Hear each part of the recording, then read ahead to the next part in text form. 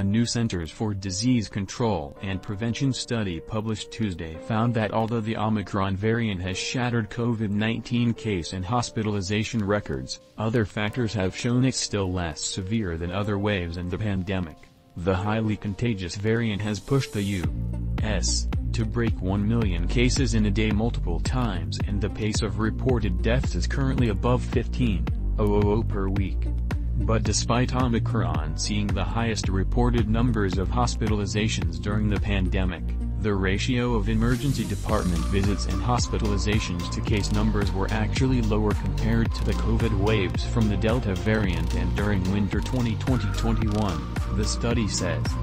Intensive care unit admission, length of stay, and in-hospital deaths were all lower during Omicron the CDC report says, likely in part due to vaccinations and booster shots. 207 million Americans have been vaccinated during Omicron's period, compared to 178 million during Delta and only 1.5 million during the winter 2020-21 period.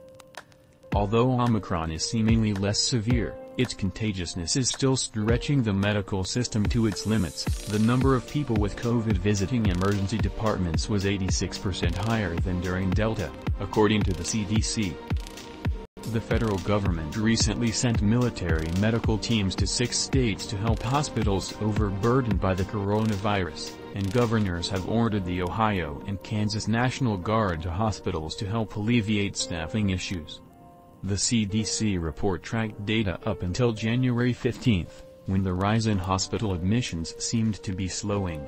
Only 40% of the U.S. population has received the extra COVID-19 vaccination dose, considerably lower than the 63% who are fully vaccinated against the virus. California Governor Gavin Newsom and state lawmakers reached an agreement Tuesday to remandate that employers must provide up to two weeks of COVID-19 supplemental paid sick leave. Last year's paid leave plan expired in September 2021.